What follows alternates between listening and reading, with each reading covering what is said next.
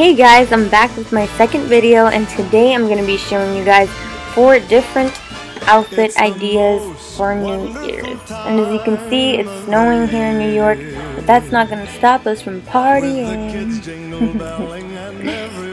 and here I am, eating caramel popcorn, which has been very, very addicting, believe it or not. But let's get started. Okay, so here I am wearing a sweater dress, and I know this looks pretty Christmassy, but I figured if someone's staying home for New Year's, or maybe you have people coming over, this would be really comfortable and really cute at the same time. I love it very much. It's a turtleneck, so if you're not very comfortable with having so much around your neck, you can always put your hair up. And I do suggest you wear shorts because you can see my dress is riding up. I am wearing shorts underneath, but you know, I'm not going to show you guys and for shoes, I'm just wearing these knee-high black fake leather boots. This is more of a glam outfit. I have this high-waisted leopard skirt from H&M and this off-white three-quarter sleeve shirt from H&M. And I think it looks really classy and cute. The black tights and the black heels that I'm wearing. Ooh, peplum. I love peplum. But I think I love burgundy just a little bit more. Burgundy's pretty big this year in fashion. And actually so is peplum. So I guess very fashion forward outfit.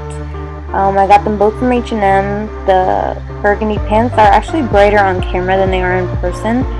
But they're, they're really pretty. I love burgundy so much.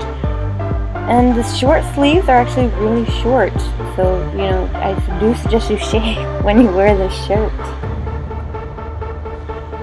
I'm just wearing a pearl bracelet and this other bead necklace, ring. I didn't notice how wrinkled that shirt was, and here I am pretending that I'm blurry. this is my favorite outfit. I'm very likely to be wearing this on New Year's. Um, the striped pants are not denim. There I am dancing awkwardly, but um, they're really soft. I don't know what material they are, but they're really nice. Um, and they make your legs look super long. So if you are on the shorter side, I do suggest that you wear these. And I'm wearing the same black leather heels. These are from Baker's. And I love the shirt so much. V-neck, open shoulder shirt. I'm going to show you guys that you can wear it, you know, down also. And you can also put a thick black belt around the waist to give you more of a shape that's what you want.